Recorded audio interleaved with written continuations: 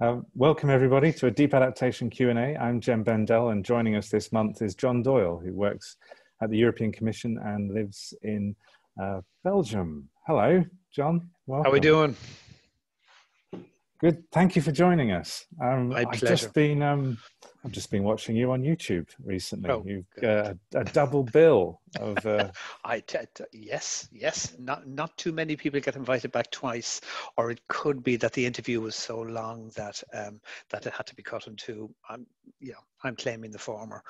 Right. So we, uh, I was I was impressed that you were really um, not holding back. You, I, I mean, having met you in uh, 2019 uh, in Brussels at the event that you organized that I spoke at, I realized you don't hold back. You do share your view on where we're at as a society. Um, and, and so you didn't in that interview as well. But could you just give us a bit of a context in terms of the role you have and the freedom that you have in that role to give sure. your views on how you see the human predicament at the moment? Oh, okay. Well, well, the freedom's relatively easy to articulate because, as, as I think I explained near the beginning of part one of the of of, of the um, uh, Stuart Scott interview, the European Commission is actually quite unique as, as a public sector organization. I mean, it does all those things that a public sector organization should do. It soundly and efficiently manages funds and it is the guardian of our treaties. And there's one other kind of very pompous one that I can't remember. But above all else, and what makes it unique, is the right, duty, obligation, and privilege, as I see it, to take initiative for the benefit of European citizens. Now, William Blake has said that good ideas always start in a minority of one. I'm not I'm not entirely certain of that because you know, if you look at great songwriting teams, it's always two. It's Jagger and Richards or Lennon McCartney or whatever. But um, so the European Commission is unique in this sort of um, in this sort of. I do want to come back to find out who your muse is, John. But anyway, as. My, my, oh, William Blake. Well, did I say oh, William Blake? Or who did I say? No, um, whoever it is who's oh, your oh, yeah, creative if, if, foil. Yeah, yeah. Um, so. well, so so the point is that in this extraordinary construct, which is the European Union, that you know at least can claim some credit for stopping the, the French and the Germans beating the living daylights out of each other every 50 years. Um, the unique feature, something that never that you don't find in any of the history of Western institutions, is the notion that this special thingy, a commission, takes the initiative. It comes up with ideas, like literally, wow, wouldn't it be a great idea if? And then this is proposed to essentially to the member states and the European Parliament, and they say, well, awful, we won't do it, or that's not bad, let's try it, or very often we'll modify it slightly. So when I first landed in the Commission, not, not as a full official back in 91, but uh, ultimately I, I, I transferred into being a full official in 96. I was I was stunned by this sort of um, ethos that permeated everyday life. You know, what's the best idea to do something? Has anyone got a plan? How about if we did it this way? And the best idea very often, even even at a very low level, is okay, let's do it this way, or let's try it this way. So I claim that um, even though sometimes my views are quite radical, and I always preface them by sort of saying, these are my views, but this is the sort of input I'm giving into the fora in which I am active in the Commission, particularly foresight work. These are only my views. They are not the position of the European Union yet, though I am an example of somebody who is particularly attached to the this right, duty, privilege, and and and and honor to take initiative for the benefit of European citizens. I mean, the so, classic one is why don't we why don't we make common the assets over which the Germans and the French keep fighting?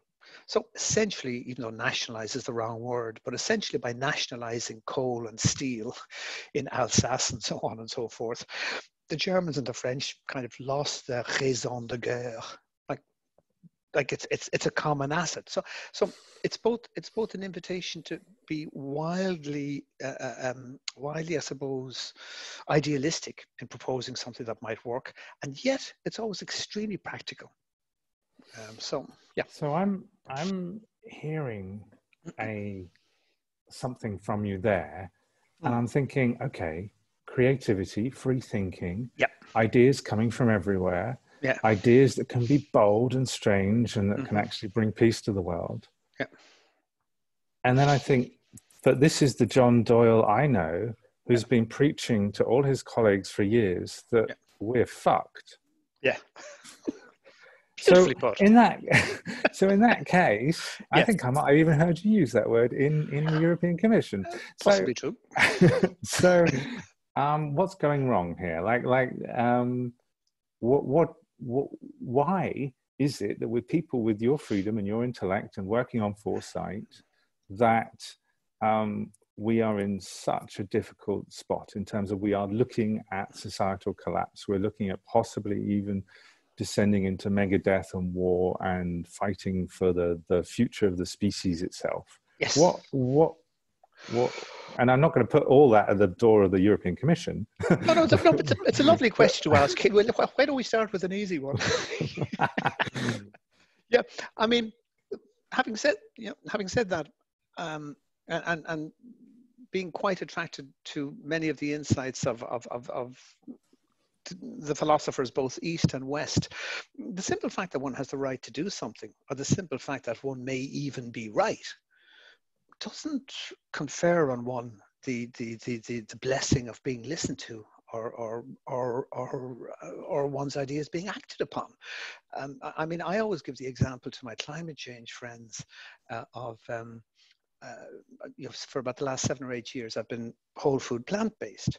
Now, at least since the China study, the wonderful uh, uh, Esselstyn and, and, and Campbell work, um, or, or, Campbell in particular, I guess, um, we, we, we know even our Western rational mind knows perfectly well that the human species should not be eating um, you know, the, the rotting, decaying flesh of tortured animals, nor should it be feeding itself on dairy products like the breast milk and colostrum of genetically modified buffaloes is somehow an important constituent of our, of, of our diet. It's complete nonsense. Now, we deeply know this, but like, who acts on it? Um, you know, a couple of lunatics, uh, a couple of, you know, the mad vegan crowd.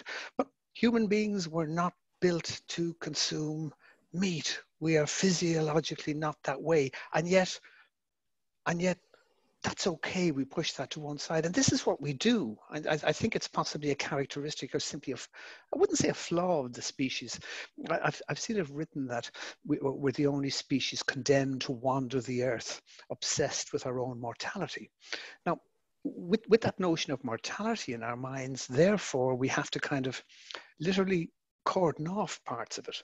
I mean, it would be very difficult to walk from one end of the street to the next in any large city and, and be truly affected by the, the poverty and misery that you see sitting on the sidewalk. Uh, so, so you have to push it away. You have to not think about it. So I, I think part of it is that we literally, to, to kind of get through from day to day, we have to not think a lot. Hmm. So, so, so it's something like that. Why should that, people listen to me? Yeah. Why so would that, you? Um, I'm reminded that when I when I spoke at the event you organised, I Yeah. asked the people who were mostly European Commission people, Yeah. um, who here believes that societal collapse will happen in in your lifetime. Yeah. I would say 90% of hands went up, and I just thought maybe they were just being nice to me to God, make no. me feel welcome.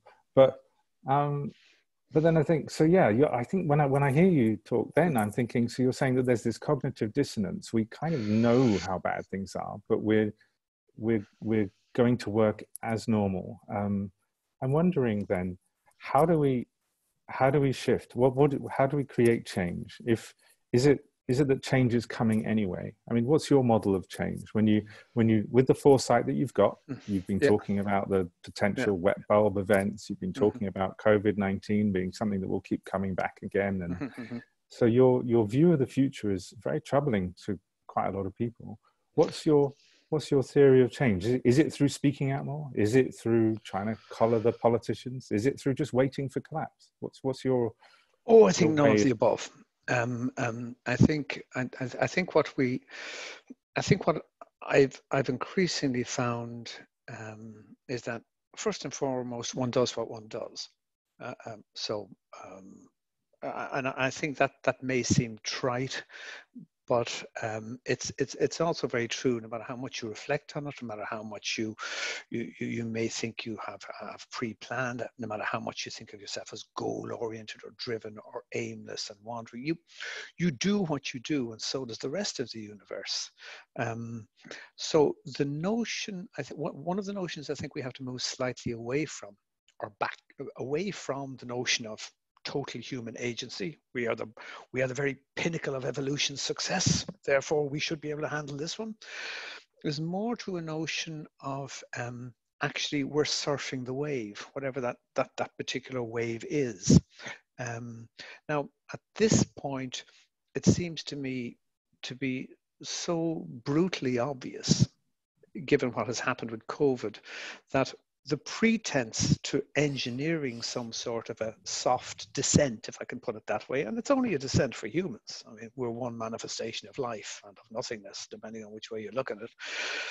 The notion of manufacturing a soft des- descent seems to me to be uh, um, fundamentally erroneous. Um, we've had over the last few months kind of 7 to 10% drop in economic activity, maybe as much as 14 by the end of the year, which is roughly speaking the absolute minimum that even hopelessly conservative organizations like the IPCC would have said what was necessary year on year for the next 10 to 20 years to give us a tiny chance of avoiding the worst the worst effects of, of, of climate change.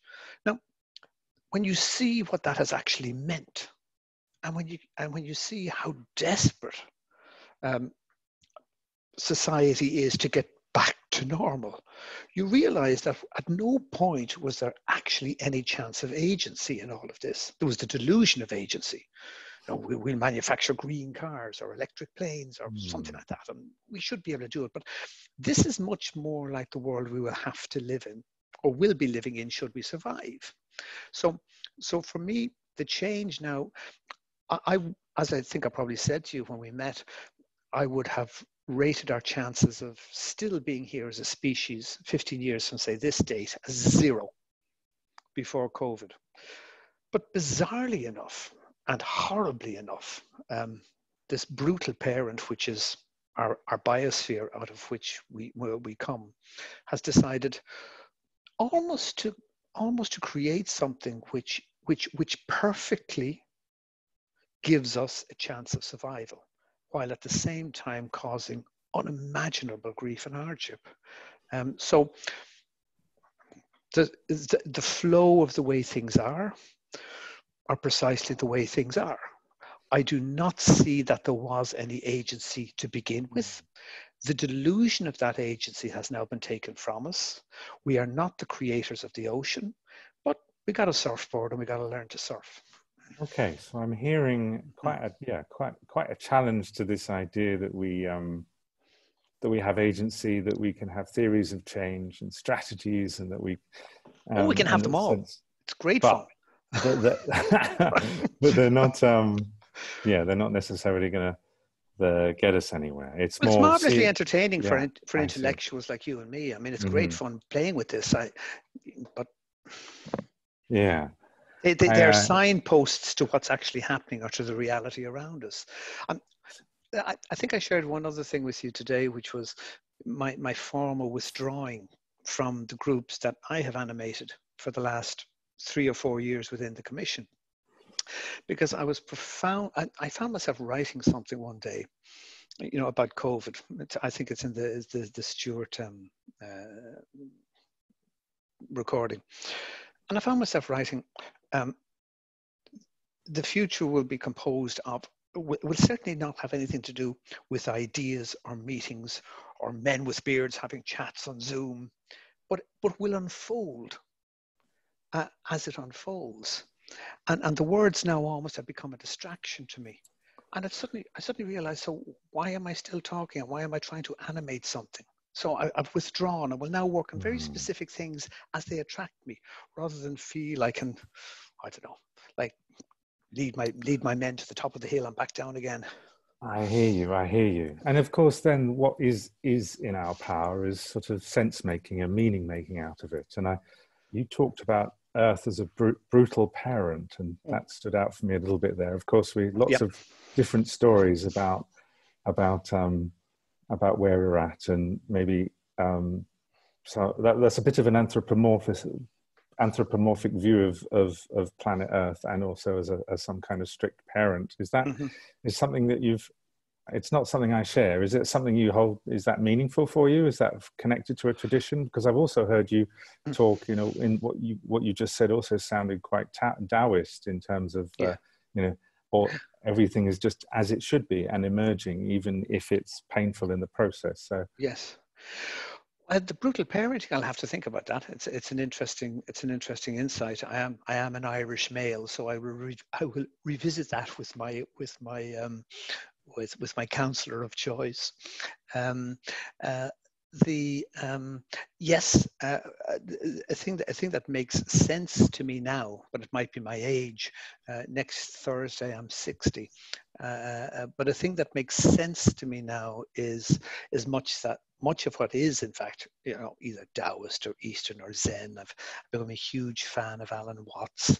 Um, um, but the notion, but I wouldn't say that it's it's in any way anthropomorphizing. It's it's it's exactly it's in fact it's exactly the opposite. It's an acceptance of the way things are and including the limitations that that, that that that seems to be something that that human beings shy away from. I, I I when you when you gave me this wonderful rather rather dry list of topics that we should talk about, I came back you know, being a smartass as is my wont, um, and suggested that the destruction of modern science by Newton might be a far more interesting thing with which uh, to begin with. And, and I gave you the reference to the wonderful Noam Chomsky's lecture on, on, on the ghost in the machine. Um, so, so a thing that, that, that people, that, that we cling to as, as, as, as thought generators is that humans have infinite potential we don't. Of course, we don't have infinite potential. Life has infinite manifestations, but as soon as something becomes mm-hmm. physical and manifest, it is limited. You know, you get to have opposable thumbs or gills. You don't get both. So, do you share the view that COVID is like a great humbling for humanity, and and it's in that humbling that perhaps there is this opportunity for change? Because you're saying that you give us a slightly better odds because of what's been happening over the last few months? Well, it's not a great humbling for humanity. That's an anthropocentric view. Mm. it's what's happened. Um, um, and, and and even the notion that it's sort of unnatural that this has happened. But again, that's that that's a human construct here. We we may be the creatures who will utterly destroy the current biospherical paradigm from which another will emerge. Um, my, my feeling is that the, you know, anything that's in sort of the dynamic equilibrium that the earth is in so beautifully wants to more or less stay in that dynamic equilibrium. Uh, so the earth doesn't particularly want to jump to an average temperature of 22 degrees centigrade rather than 14 or 15 or where we're at now. So it would rather stabilize like, uh, like any organism. It doesn't want to have to get sick to get better again. Um, so um, it's it's it's not really about humans. It's it's it's about what is. We we, we talk in terms of it being about um, about our lives next generations the less uh, the less favored nations the poor. But this this is the, the, these are these are the very limitations of where our our thinking and our words can go. Um, mm.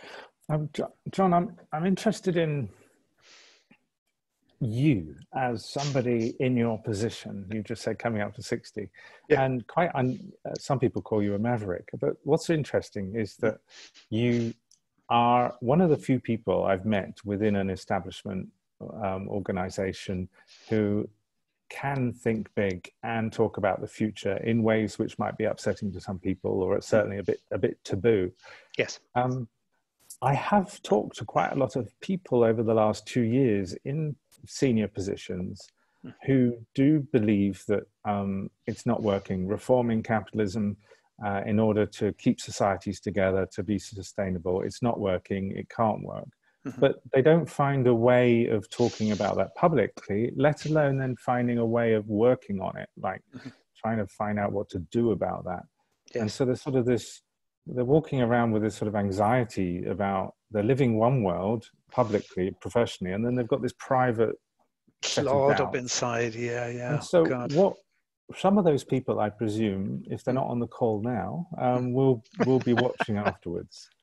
And so, what what do you say to people who? And because you must meet them in your work all, all over the shop. So, well, what do you say to such people? I mean, absolutely. But uh there's very little, uh, if anything, new to be discovered. It's all just revealed. You suddenly see it. You know, uh, you God, wow. It's like waking up at the moment in Brussels, and suddenly I woke up the other morning and there were bees buzzing. I, some the bedrooms on the first floor. I could hear bees buzzing, or I thought maybe I had tinnitus. And then, oh, wait a minute. This is my garden I'm hearing. Wow. So I, I think I think reality, reality, a big word. And I, I think I think the world endlessly gives you these things to kind of go, wow, isn't that amazing?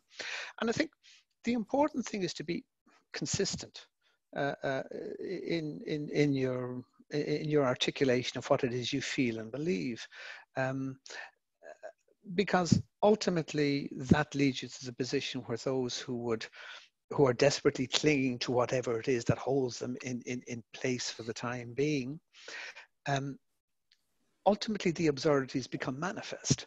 So um, uh, uh, I can give you an example of uh, yeah, at the early at the inception of one of the climate groups that, that that I used to belong to within the commission. I was arguing very forcefully that have a snowball's chance in hell. We need to stop the common agricultural policy. No more subsidies for German car manufacturers, and agriculture within the next five to ten years had to go to being a net sequester of CO2. And then the IPCC 1.5 report came out, which to me is a horrendous whitewash. But my colleagues sort of said, wow, this is so good. It says we have to reduce by 7% year on year, or maybe 10% year on year. This is what we should hang our hats on. I said, but no, it's not good enough. Now, in the end, something I don't necessarily regret because again, this is a group of people talking and that's okay. And, and I stayed in that group for, for long enough to find other groups. But no, no, listen, we have much greater political traction if we just say we need to stick to the IPCC figures. And I said, okay, because I mean, I was thinking to myself, well, seven percent year on year is pretty much what we have now with COVID. you know, I said, well, if they even did five percent, it'll be an incredible change. And if they did that year on year, well, who knows? But of course, the minute we get anything approaching that, everyone kind of goes, God Almighty, we can't live like this which is fine because it's extremely difficult to see how we can live like this or how we can engineer this. And my feeling is that we don't engineer it, that, that the reality emerges, we adapt or we don't adapt. Some do, some don't. We never actually had the control we thought we had, uh, you know, as, as white privileged males perhaps, um, rather than, uh, you know, poor, underprivileged people from some other part of the world who, who were very well aware of the fact that they that they didn't have any agency. So, so for me, what it is is, uh, and then I'm able to go back to my friends and sort of saying, well. one guy was really funny. He sort of came back and said, Well, this shows, John, that you were completely wrong for trying to force the commission to do 7% reductions. I said, I didn't. That was a massive compromise for me. He says, It's clear that we're only able to be doing you know, 1 or 2% per year. But that's that's suicide. It's all that's possible. You're kind of putting soap on the rope so so you don't get a neck burn. Why would you do that? So ultimately what happens then is people sort of leave me alone which is okay i think i'm more of a john the baptist character it's probably best that i be left alone and, and it's it's more a combination of characters that make things happen i, I don't think i'm a leader I may be a visionary or an annoying prophet outside the walls, but it, it would be for different types of people to, to sort of say, you know, Doyle does have a logical point here. You know, if, if you know, if we actually need to be massively sequestering within the next five to 10 to 15 years to have a snowball's chance in hell, you know, new Green Deal, really? Is that really enough? Which and, and so privileged as I am to work in the European Commission where I can articulate these points of view, it's not difficult for me because I think I'm always logically consistent. When somebody points out somewhere that I'm wrong, I'm, I'm delighted. I don't have to live with that dissonance.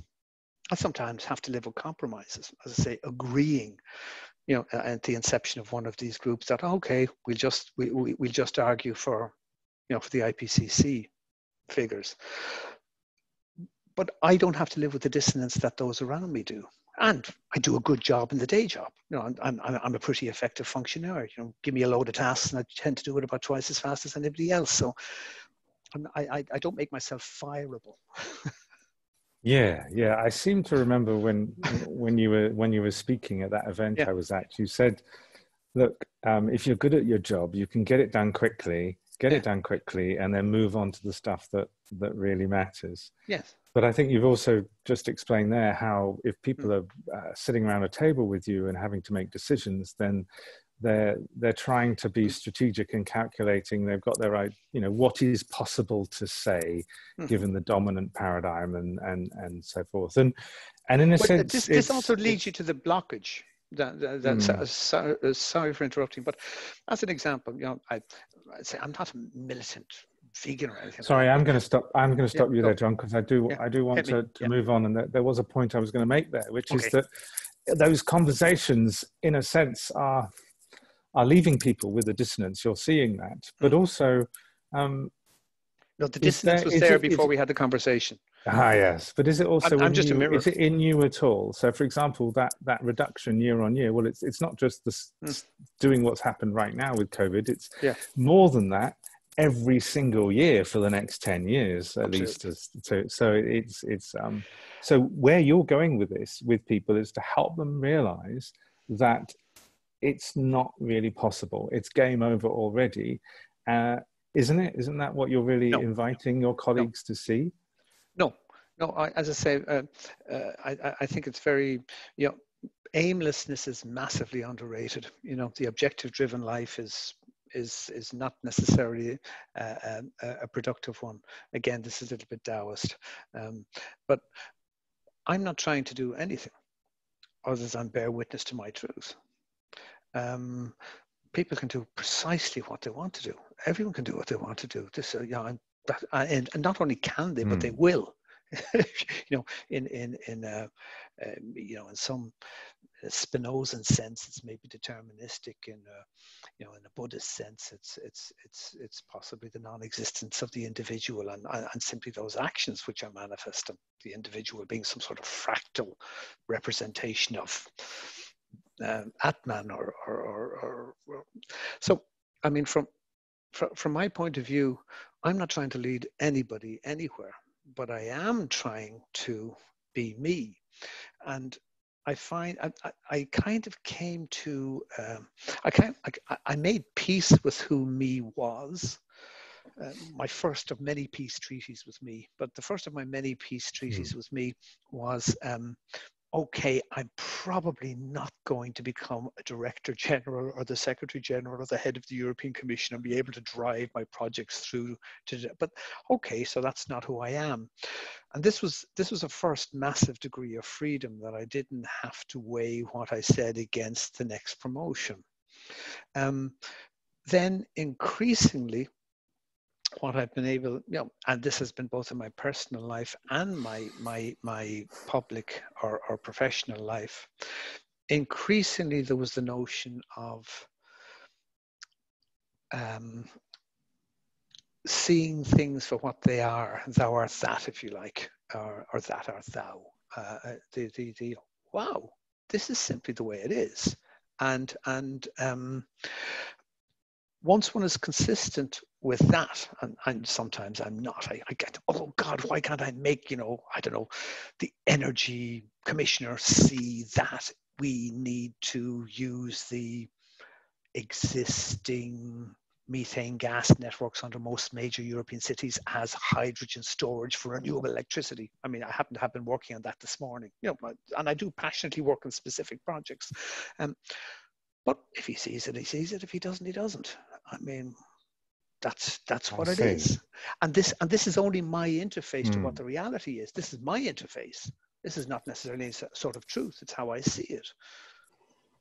And and, and that's okay too. Okay. Thank you, John. Yeah. Sorry, yeah, I'm, I'm probably not well, making an awful lot of sense here. well, no, no, you are in the sense that you've you've prioritized in your work. Uh, telling your truth, and that's led you to the position you're in. It's led you to your mm. sounds like your spiritual philosophy as well, and it's also led you to a place where you're not sort of scheming about how to win battles or or convert oh, God, no. top bureaucrats to your cause there's some um, very very hard lessons in the Tao just on to, that. To you know, that. you yeah. know, the kind no, of good I, and evil, stop you there, John, left and right. Time. Yeah. We need, okay. We need okay. to. We need to because we've got quite a few people who've joined us. So I want to. Right. Uh, God, a lot of people in lockdown really bored. oh yeah, must be. Yeah, right. Yeah. Um, okay, so we're going to go to um, Gary, I believe. So Gary, if you unmute and ask you, your question for John. Say where you are as well. How you doing, Gary? How's it going? Hi. Oh, I see something very Buddhist in the background. I'm impressed. Right. uh, I believe you have said the current economic models will disappear in 10 or 15 years. Yes. Something of that nature. I presume you understand that this will not happen without resistance and a considerable amount of pain. Can you fill in any detail you care to about the process of shifting to a different model and what will that model look like? Thank okay, you. for the second part of the question, brilliant question. Um, the second part of the question, haven't a clue. Um, as I say, I, I, suspect you may have seen the, uh, the, the, the Stuart Scott interview, or you wouldn't have asked me this question. Um, the um, that um, that there would be great resistance. I I I suppose my my deeper point is that it doesn't matter how much resistance there is this is the way it's going. I, I, I, I, say to my friends now, so I know somebody's quite high up in one of the car companies and so on and so forth. And the real thing is, oh, we got to get back on the road, get on those flights out to Wuhan to sell some um, to cars to our, our wealthy um, Chinese people in Wuhan. And can we get into, and there's all sorts of people saying, I don't want to travel anywhere. Now, so my suspicion is that if you can't travel, if you can't go to, a, if you can't travel, well, what does that do to globalization? It's like people are sort of saying you can go to Irish pubs, but you have to stay kind of four meters away from somebody else. That doesn't sound like an Irish pub to me. It's not an Irish pub unless somebody spills a pint of Guinness over me and we get talking. That's the function of Irish pubs. So so the change is simply happening. And I find myself sitting here in somewhere like Belgium and being blown away by the service that I get from people like the Uber Eats driver or, you know, the girl in the supermarket who's still there with a little mask serving me. I'm asking myself, what do I need to live? So I don't know what evolves, and I'm certainly not um, painting, you know, Dorothy in Kansas type picture of what it'll be.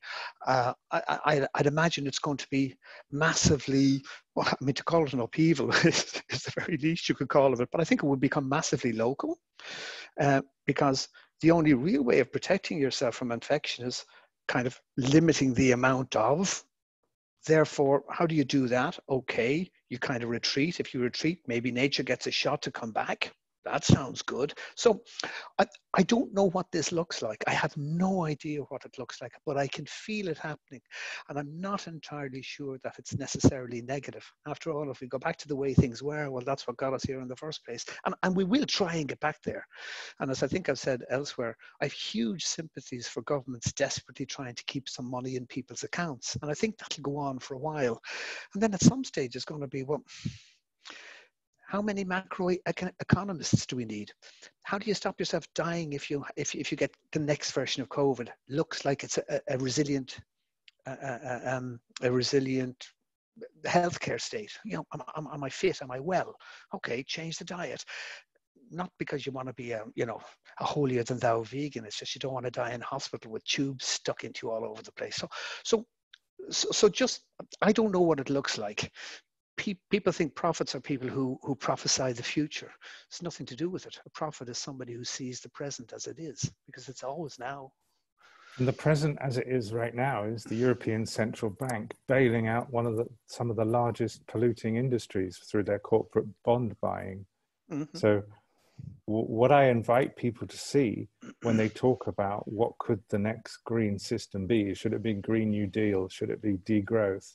Yeah. Actually, look at what's already happening, what's already been agreed. Mm-hmm. Business as usual is being rebooted.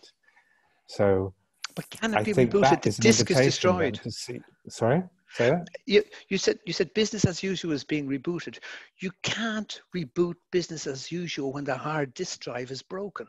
Yeah, you can try. You can keep slotting in the old, you know, yeah. the floppy disk, or the, but you, you can keep doing I, it. I mean, let's well, invent even you, more money. But I hope you get to talk to people who talk to the European Central Bank because then it's just they're just pouring money down the drain, then aren't they? In in that case, and in yes and no, because yeah. again, it's it's very important. Like, what do you mean by money? You know, this this was again a key part of of what. Um, well, I can tell you. Uh, what I mean is, is that they're creating money from nothing, which basically dilutes our relative spending power by buying in the number of billions corporate bonds.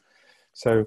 So, okay, but um, money. We, we, we, know that money is created by by um, ah, private banks for the issue loans. So. Yeah. Yes. But let's let's let's move on that there to another. We've got Alexandra uh, with a question. Alex, uh, can you un- undo your uh, uh, unmute your, your thingy microphone. Hello there. Um, can you hear me? Yes, yes, gotcha, Alexander. How you doing? Hi, I'm saying hello from Edinburgh today. Oh wow, love Edinburgh. And I wanted to just um, get a better understanding of what you were talking about when you were talking about lack of agency.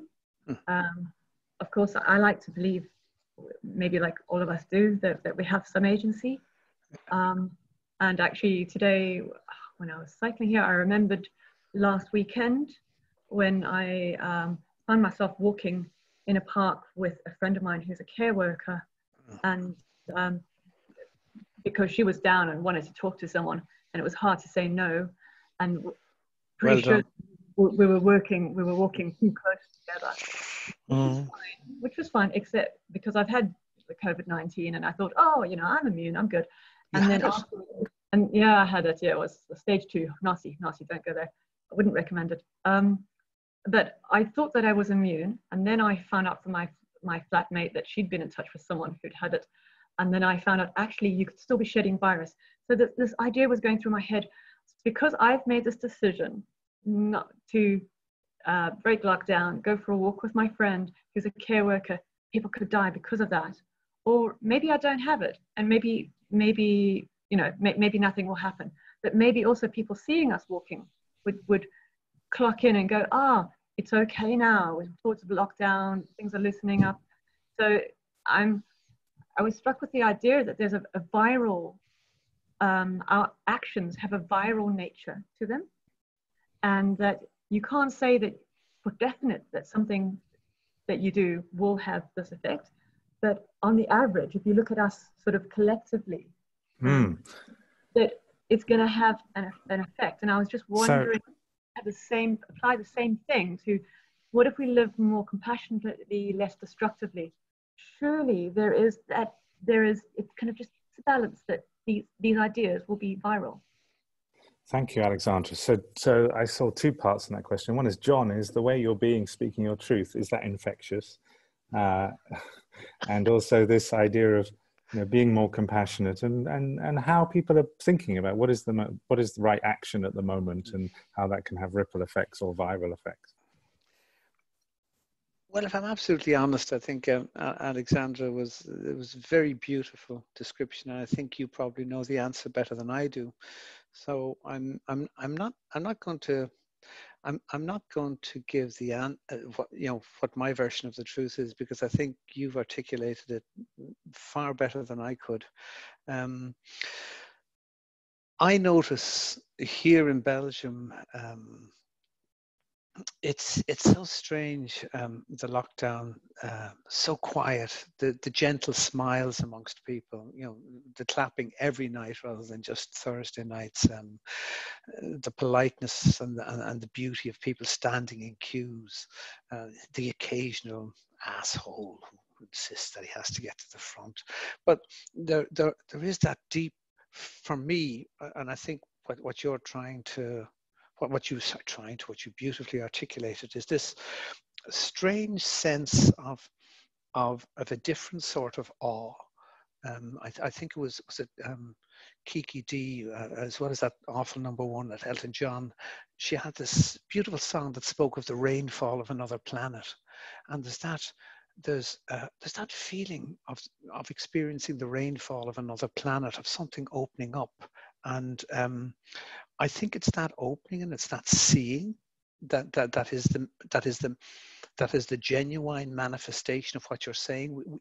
You don't have to make it causal or linear. If we lived more, blah blah blah blah. It's just wow. And then you see catch somebody's eye and you smile at them, or they see you fumbling with your silly mask, and you know your relationship has changed.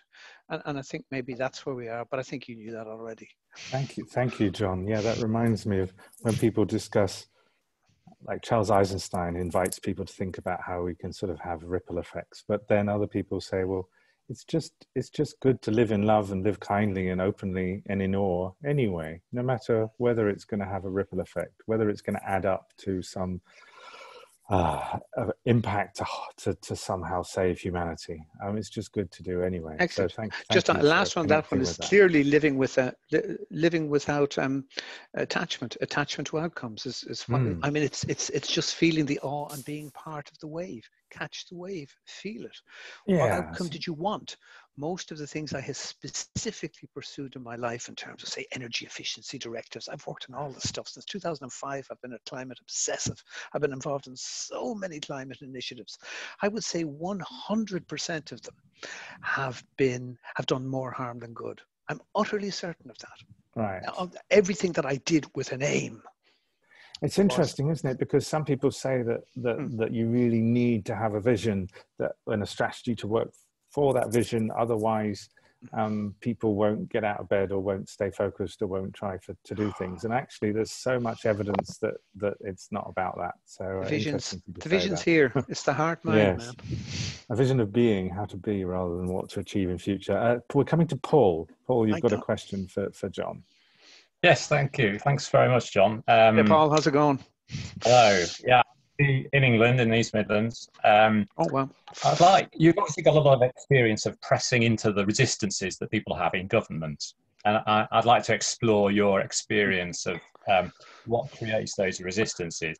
So there's obviously a, a, kind of elephant in the room factor, talking about collapse. Jem's talked about, you mm-hmm. know, those conversations that you will have in the corridor with individuals, um, but it can't be spoken or it, it there's no place for it somehow in the boardroom or in the committee room. Hmm.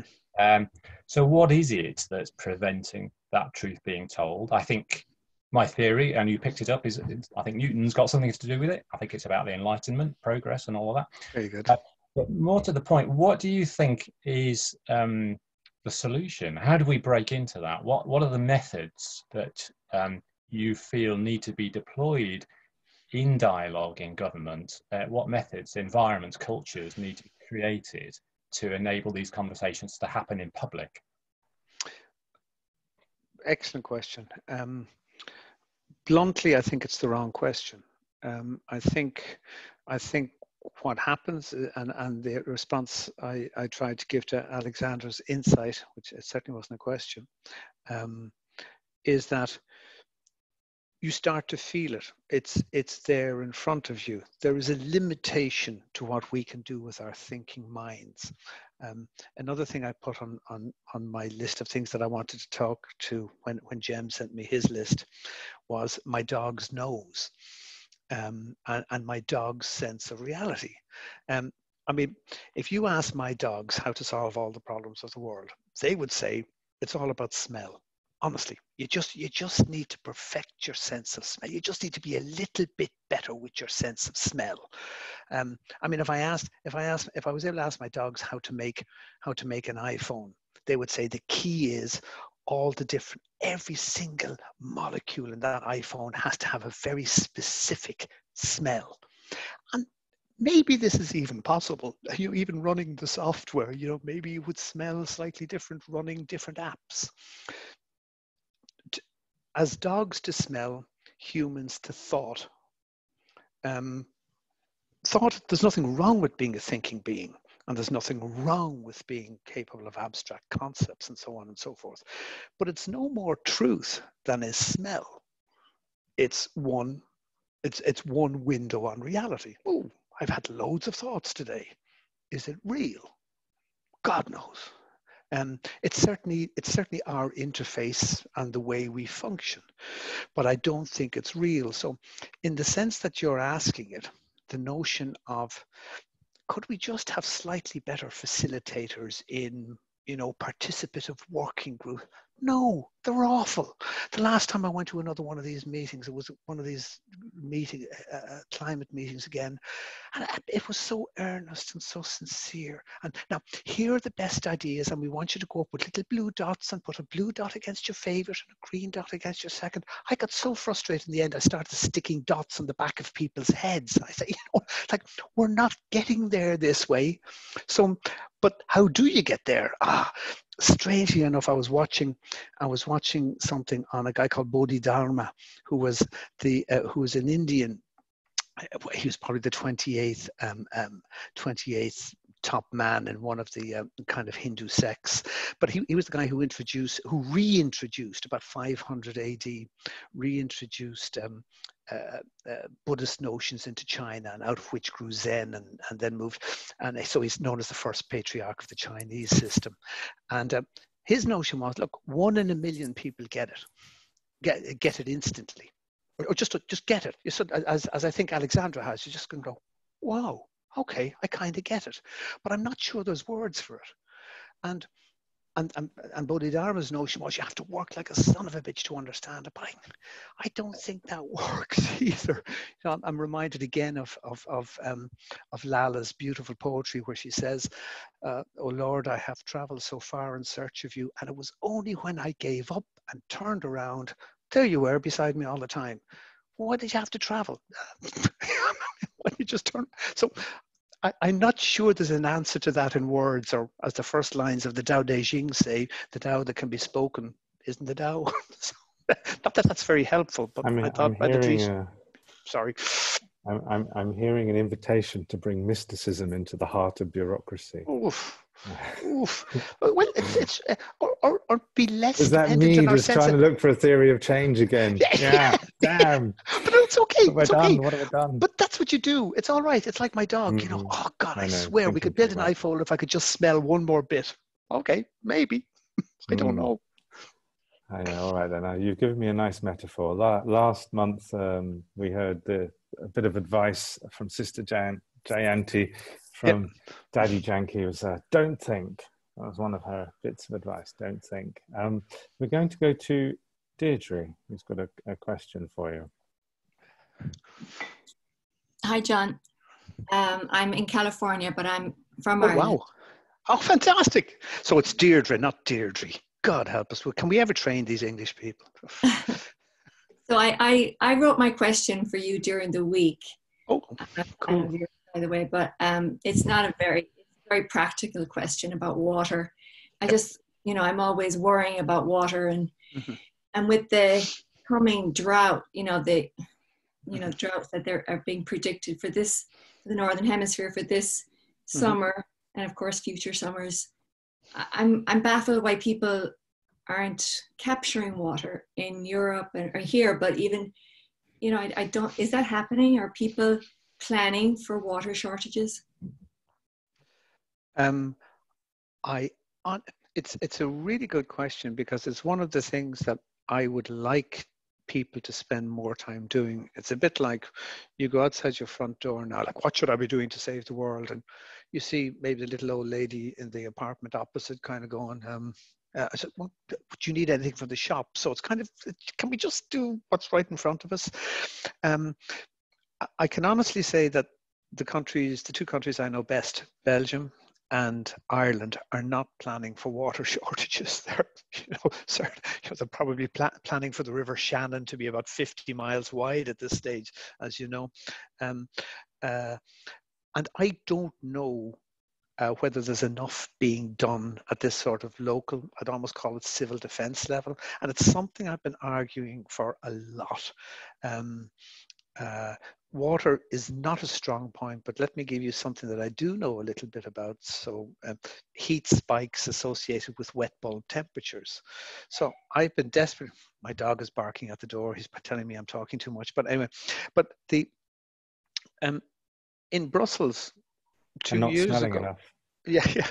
It, it in Brussels two years ago we were within one degree and twenty percentage points relative humidity of having wet bulb temperatures, which would have theoretically resulted in thousands of people, particularly in old people's homes here, because we don't have air conditioning. You know, the two or three percent of, of, of, of houses have air conditioning, dying of, of heat stress.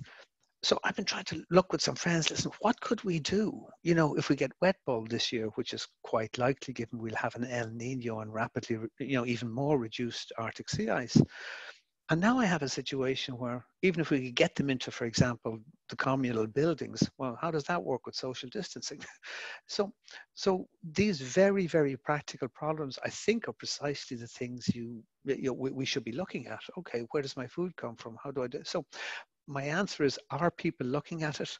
Um, not systemically, I would say, should you be looking at it? Absolutely, go for it, uh, and as much as you can. You never know when you see, and it's the thing you're passionate about that you manage to communicate. I think so. I, I know that's not a huge help, but it's as good as I can that, do. That also brings us on to a, a broader topic, which is that if we're beginning to see more and more severe impacts uh, from climate change on our own lives, and you've mentioned a couple, um, where where do we go? Where do we, or who do we ask to act? Is it just to ourselves? I mean, do we try and engage the European Commission? Do we try and engage our government, local government? Are there organizations that you know of that are mm-hmm. like really helping on the practical level? Mm-hmm. My, uh, again, my feeling is that the more local you can make it, the better. So one of the things I absolutely adore is um, the uh, oh the uh, uh, what is it um, True Food. Oh God, I've forgotten the guy's name. The initiative in the uh, starting out of the states. Um, oh, I've forgotten it, uh, but he's um, one of the great nutritionalists' sons who has who's got this. and I, so anyway, it's all about you know helping people particularly in the states and so on and so forth, grow, eat uh, uh, uh their own foods. My my feeling is local is best. Um, so that's been around for a while. You know, we yeah. I, see someone on the call here, Naresh, she was very involved in, still is in transition towns. Yes, the exactly. question, of course, yeah. becomes how do you scale that? And obviously, there's been such great difficulty just working locally, and often, often. I'm just going to let my dog in, or he will scale the door. Okay, okay so just two can, two seconds. Yeah, I'm back. As long as you bring him on camera. So um, yeah, so this is something that actually Matthew Slater uh, is working on as well with me, which is sorry about this, that. This, yeah. The question is is that um, if if we're going to sort of can there be what do we do if we want to help scale local action? Um, is there no possibility for government or European level action for actually uh, sort of a, some kind of quantum leap in localization, including growing local food? It's it's an it's an absolutely uh, I mean it is it is the question, isn't it? I mean how how do we scale the yeah how do we go from the good that I I would I do not the evil I would not that I do and how, how does you you know you, you know you're meeting lots of nice people and at the minute you aggregate it up you seem to have this horrendous monolith. I have no answer to that question, and I actually feel that it's possibly the wrong question to be asking. Um, you know, you, you, you were talking earlier about, you know, the interface that I have to power and I've been, I, I have been very close to serious centers of power. Never have I met such powerless people. People who are entirely and absolutely the product of the, of the box. In fact, they're not even the product of the box. They make up the four corners of the box. They are the box. Um, and I feel, I mean, I, I probably shouldn't say this, but when I look at somebody like Donald Trump, I feel nothing but pity this this sad, pathetic man, obviously living the. trial. I mean, I think he's bad just to see his fa- his father apparently was a 24 carat bad person. So, uh, you know, um, like if I had access to Donald Trump, could I change everything? Don't think so. I, yeah, access, of yeah, course. It's not. what some access would you want me to have? there. If I get the Pope to write a speech, yeah, would that work? So this then becomes a. We're we're going to come on to Matt Osman then, who's going to have the final question for us. which- How you doing, Matt? Actually, this question's been preempted by others, so I think I'm just asking you to circle back on the same theme now. But I came here with a question in my mind, having watched your YouTube interview, um, the recent COVID-related YouTube interview, and I was really struck by what you said about agency and Yeah. um, how how this pandemic has achieved, you know, like a kind of bullet point plan to, to fulfill all of Greta Greta's demands, Yeah. but no agency seemed possible of doing it. Mhm. I, but rather than, for me, rather than framing it as we, we're realizing we have no agency, it seems to me it's more about getting better at naming where our agency lies and what we do have agency over.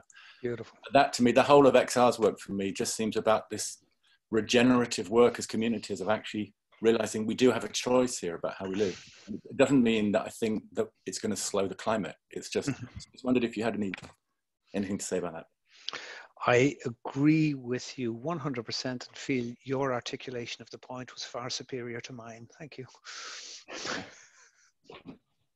Right. So it's interesting, Matt, as well. You're saying that yeah. So it's the way that XR organized has organized, particularly at local level, Mm.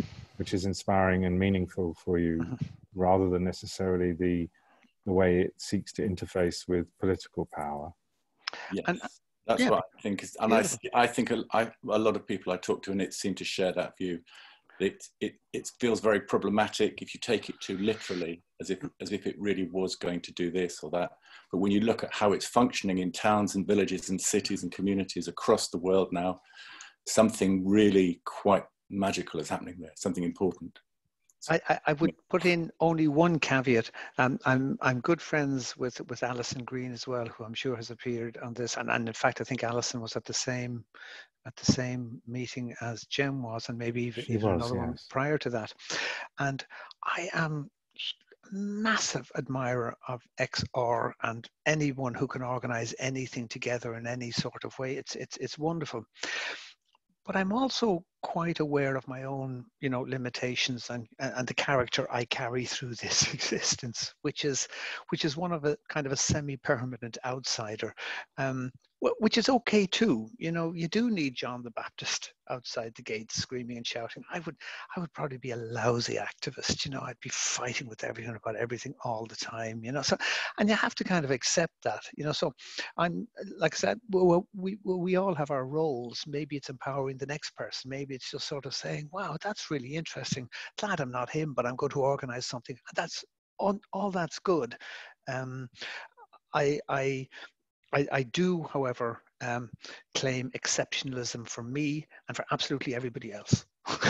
You know, do do what feels good and do it, you know, um, and and and and live it, uh, and and let the others live too.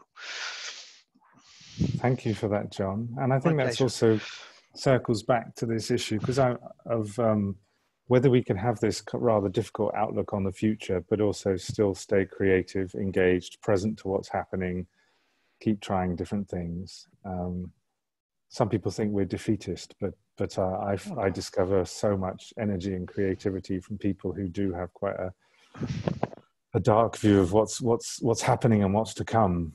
Um, but they still stay present to it. And I think XR is all about that too, or at least it was to begin with. Very much, you know, we are screwed, but we're going to do as much as we can.